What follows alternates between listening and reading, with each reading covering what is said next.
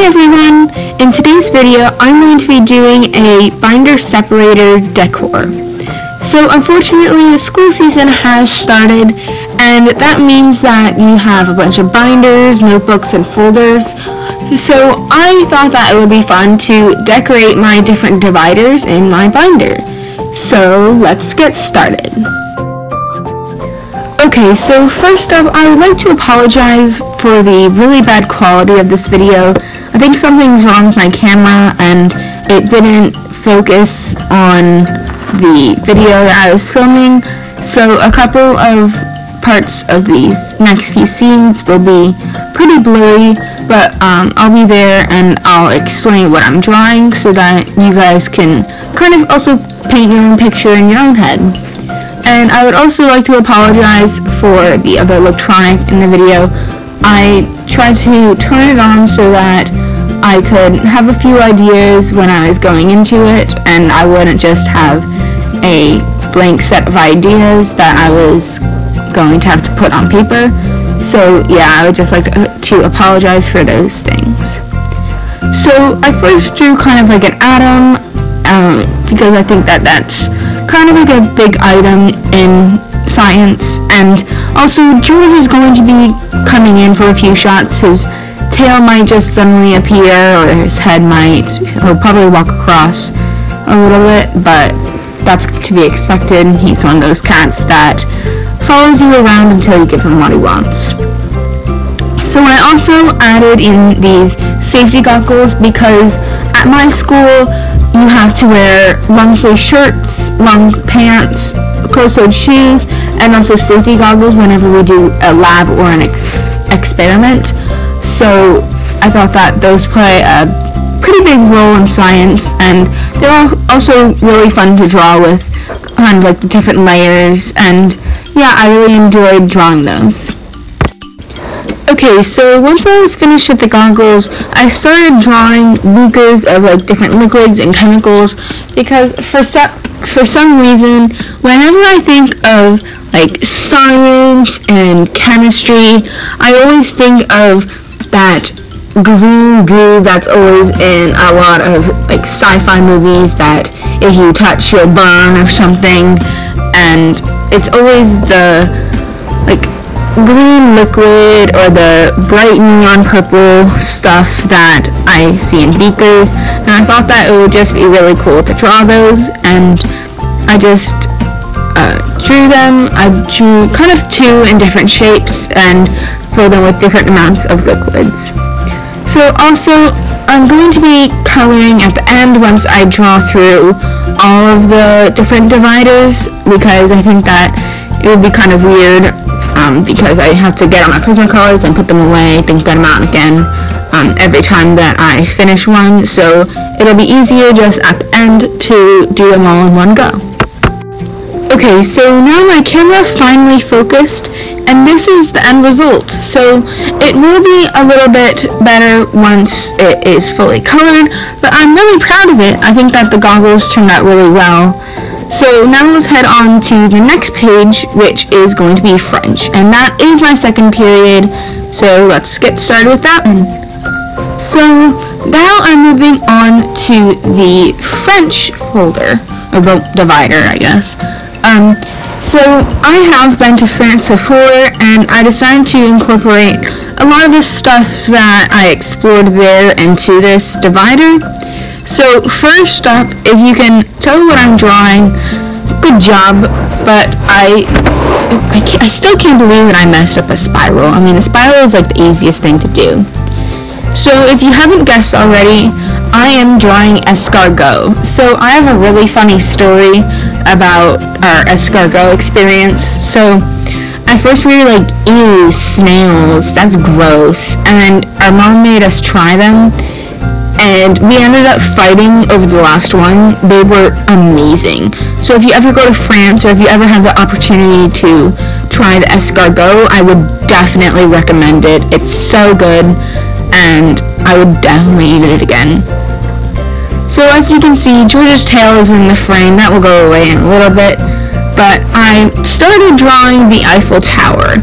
So I have seen Eiffel Tower in real life, but it's kind of hard to draw because all of the cables are like in a cool pattern and I couldn't figure out how to draw it. And at the end when I did it I don't know it, it looked like a party hat on legs and that is not what the Eiffel Tower looks like. The Eiffel Tower is much more majestic. So I just erased that and started on a new thing. Alright, so yes, I did end up erasing the Eiffel Tower, but I'm really happy with the thing that came after. So I also saw the Arc de Triomphe in the in Paris when I was there. So the Arc de Triomphe, uh, well, okay, true interruption, everybody. So the Arc de Triomphe, it's kind of like a roundabout, which if you don't know what a roundabout is, it's basically an intersection but circular, so it's a circle with different roads branching off of it. So the Arc de Triomphe is basically in the middle and there's a huge roundabout around it. So there are, I think it said 10 car crashes in one day or four hours, I don't know. But there's a lot of car crashes there. Um, but it was so cool because there were bikers in it, there were cars, there were motorcycles. There, it, w- it was crazy. There were so many different vehicles in it, and I can't believe that we we were there for like 30 minutes and there, nobody got in a crash. So I was kind of happy but kind of sad because a nobody got hurt, but then I don't know. I just kind of wanted to see it. So as I finished that, I thought that it would be funny to have the snail be saying bonjour, madame. So bonjour is good day, and then madame is like miss or missus. So I thought that would just be funny to have the snail saying that because my French teacher is a woman. So I, thought, I don't know. I just thought that it would be funny to have it say bonjour, madame. So when I was done with that, I decided to draw the French flag because, well, I, I don't really need to explain it. I'm obviously taking French, so a French flag would kind of fit in with it. Okay, so this is the final result of my French divider.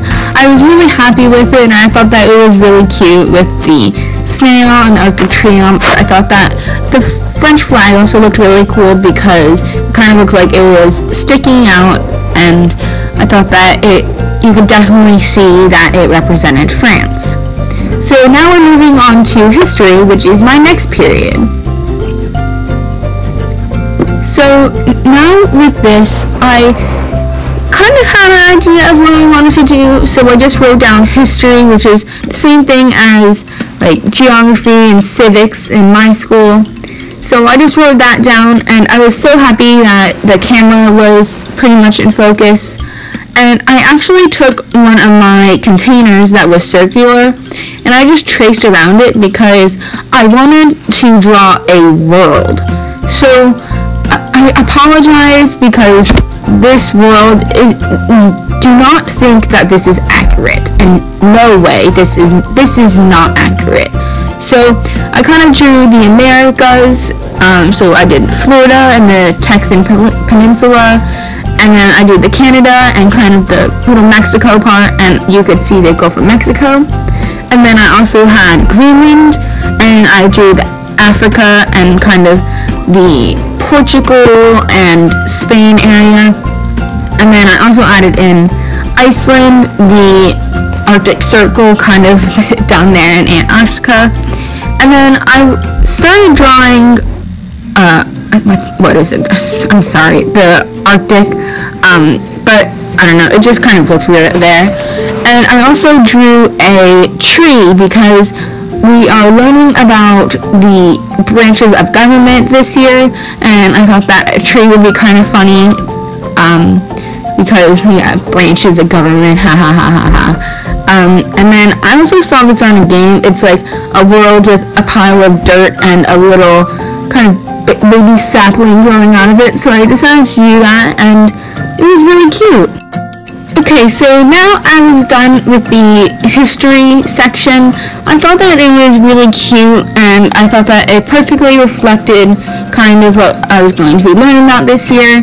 And yeah, it was really cute and I would definitely do this design again. Okay, so now we can start coloring. So first I started to color the uh, beakers and vials of liquid. So first I went in with kind of like a, a little bit of a dark lime green and filled in the smaller beaker with it. And then I also took kind of like a lighter magenta and I filled in the bigger beaker with that. So at the end of this, I actually uh, outlined everything in kind of a darker shade of whatever it was colored in with. So for the magenta vial of liquid or whatever, I just went in with a darker purple that I had, and same with green, I went in with a dark green. And you'll see later that I ended up coloring the the what are they called? I ended up coloring the safety goggles um, kind of like a blue, and I outlined it in a darker one. And then I also colored in the atom with kind of a purple, um, more of a lighter lilac. I don't know, I just thought that it fit and it kind of brought out some more colors in this. Okay, so this is the final science divider. It's the end result and I love it so much and I also love the bursts of color in it. Okay, so next up is the French divider. So I am taking French this year and I wanted to include a lot of color because I feel like France is really colorful. So for the snail, you can't really see it that much, but I went with the more sluggy part of it in kind of like a light pink. And then for the shell, I did kind of like this I don't know. I'm just gonna call it this hay so color. people bring like um, different. And it looked a little bit gray here, pies, so I also and went over it with some competition brown, where and it turned out see who really can recite the most digits of So at the end of that, I, I, I thought that it looked really good. It looked more like a live snail, but um, I don't know. I think that if I drew a dead snail, it that doesn't sound that good. So I just drew a live one instead. And you can see here that it looks really good. And I, um, I don't think I showed it, but I went over it later with a darker color so that you can see that it's a snail and not like some slug under a big rock. So for the Arc de Triomphe, it was kind of hard because I don't have a pencil sharpener and some of my pencils are dull. And this silver is really streaky, so it's kind of hard to see in camera right here, but the, it, it was so many streaks and the color was so uneven. The only part that really turned out pretty good was the shading of the arch, which it's kind of known for, I guess. Um, but I don't know, it just wasn't my favorite because it was so streaky. It was like I went over it with one shade of gray and then went over it again with the next and it was not an even color. But I think that the end result turned out better because I used one of my blending pencils and if you don't know what that is, it's basically a pencil that I use to kind of blend all the colors together so that it's more of an even one. I do it like when the color is streaky or if I just want to go over it lightly but have the color still be even. So as you can see here, I'm using the blending pencil just to try to make the color a little bit even. And yes, it did make it darker, but I think that it was better so that it would cover up some of the streaks. So as you can see, I colored in the French flag with the blue, the white, and the red. The white didn't show up on a tester that I used, so I just didn't color it that way.